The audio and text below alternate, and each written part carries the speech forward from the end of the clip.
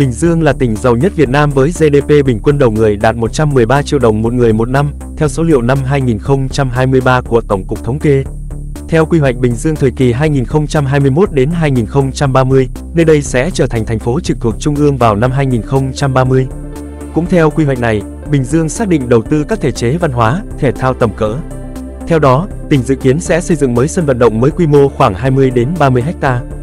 Do quy mô lớn nên tỉnh Bình Dương đang cân nhắc hai phương án về địa điểm xây dựng sân vận động. Trong đó, phương án bố trí đất tại khu vực đường Võ Văn Kiệt thuộc phường Hòa Phú, thành phố Thủ Dầu Một được xem là khả thi và hợp lý hơn. Khu đất này nằm ở phường Phú Hòa là khu đất cao, rộng, nằm ngay trên tuyến đường lớn Võ Văn Kiệt và đối diện với nhà thi đấu đa năng tỉnh Bình Dương. Những yếu tố này đã làm cho vị trí khu đất được đánh giá là hợp lý nếu bố trí xây dựng sân vận động.